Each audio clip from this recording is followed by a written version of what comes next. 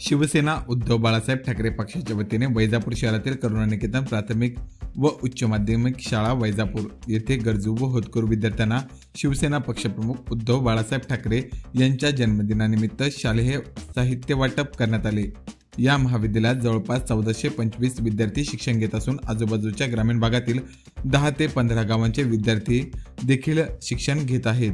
या प्रसंगी माजी आमदार भाऊसाहेब पाटील तात्या चिगडगावकर यांनी बोलताना सांगितले की शिवसेना पक्ष हा मुळात ऐंशी टक्के समाजकारण व वीस टक्के राजकारण करणारा पक्ष आहे. त्यामुळे आगामी काळात शिवसेना पक्ष व आम्ही नेहमी गरीब व होतकरू विद्यार्थ्यांच्या पाठीशी खंबीरपणे उभे राहू असे सांगितले. विद्यार्थ्यांना पुढील भावी वाटचालीस शुभेच्छा दिल्या.